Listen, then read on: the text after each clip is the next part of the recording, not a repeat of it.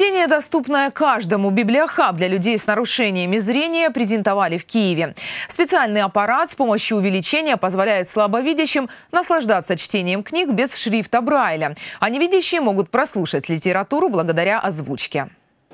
Для Анны Самбурской чтение – одно из любимых занятий. Говорит, едва выучила буквы, как проштудировала все домашние книги.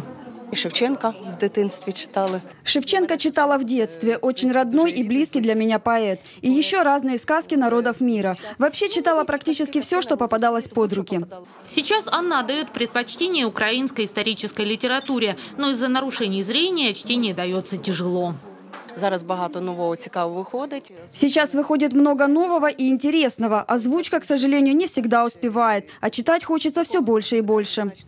Благодаря общественному проекту «Библиохаб» для людей с нарушением зрения Анне стали доступны не только аудиокниги или со шрифтом Брайля. Ми беремо книжку, Мы берем книгу, кладем ее на панель, выбираем цвет и размер шрифта и читаем с помощью панели, которая движется. Тотально незрячие могут прослушать библиотечные книги.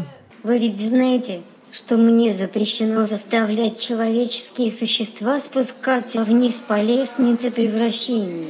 Библиотека имени Тычины – единственная в Киеве, получившая такое оборудование. Аппараты закупили в рамках общественного муниципального проекта. Автор идеи Екатерина Макарчук говорит, задумалась над проблемой, встретив военного, потерявшего глаз на Донбассе.